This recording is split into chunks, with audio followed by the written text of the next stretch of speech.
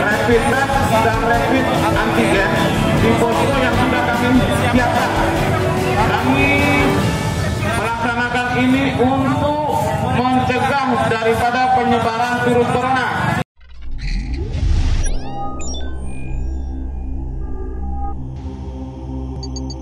Rasil untuk Islam yang satu.